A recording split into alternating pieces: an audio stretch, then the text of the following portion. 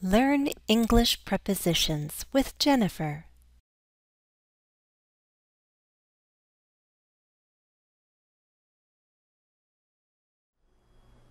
There are certain combinations or collocations with the prepositions at and to.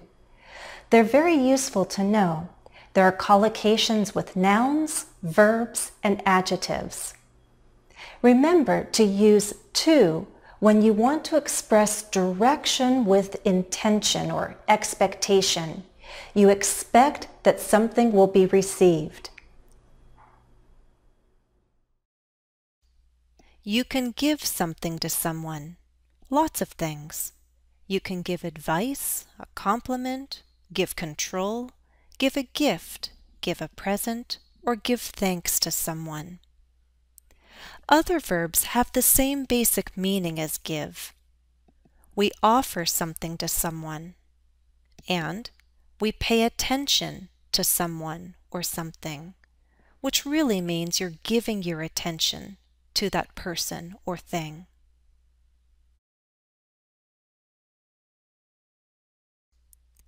We can also show something to someone, and a verb with a similar meaning is present. We present something to someone. For example, you present an idea to someone.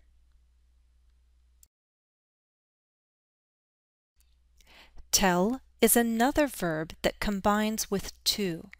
You tell something to someone. You can tell a joke, a secret, a story, a lie, or the truth to someone.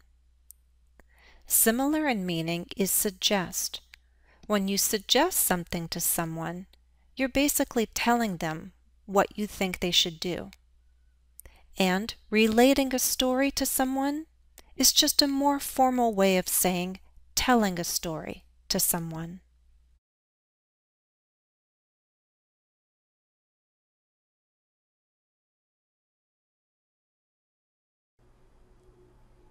Note that with the verbs give, show, and tell, we can change the word order. If we don't need to emphasize who or what the receiver is, we can take out the preposition to and move the object of the preposition to an earlier position. So instead of give the phone to me, give me the phone. Show a picture to you, show you a picture. Tell a story to you, tell you a story. Here are more collocations with to. Verb combinations. We can dedicate, explain, send, or teach something to someone. And we can expose someone to something. If you think carefully, you'll see all those verbs express showing or giving or telling.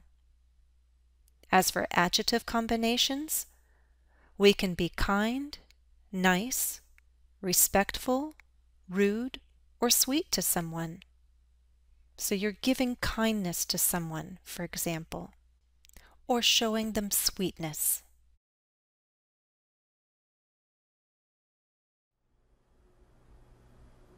Let's look at more collocations, collocations with the preposition at.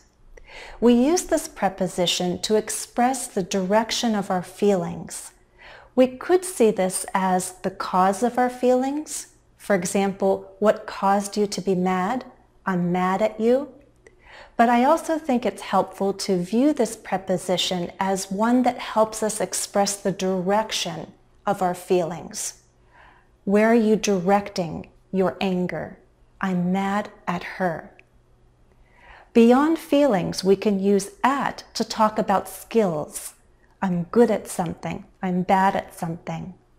You can think of it as directing your efforts and your energies toward a goal, hoping that something good will result. When speaking about skill, we can be good or bad at something. We can be excellent or terrible at something.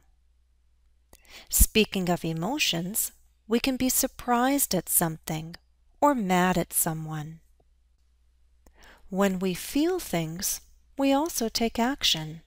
We can laugh at something, yell at someone, or shout at someone. We're directing our feelings toward an object when we do these actions. Compare those collocations to these. Talk to someone. Express something to someone. When we talk to someone, there's this expectation that our words will be received. That's our intention.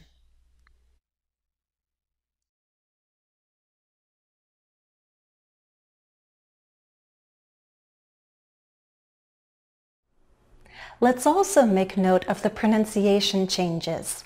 In slow, careful speech, we can pronounce prepositions with their full vowel sounds, to, at. But in everyday conversation, we usually speak faster and with relaxed pronunciation.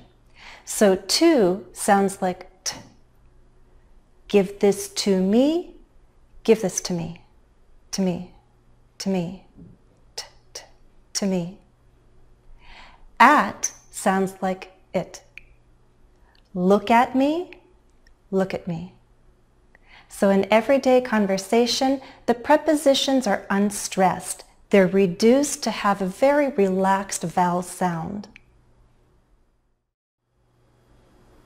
Let's try an exercise to practice some of those collocations with nouns, verbs, and adjectives.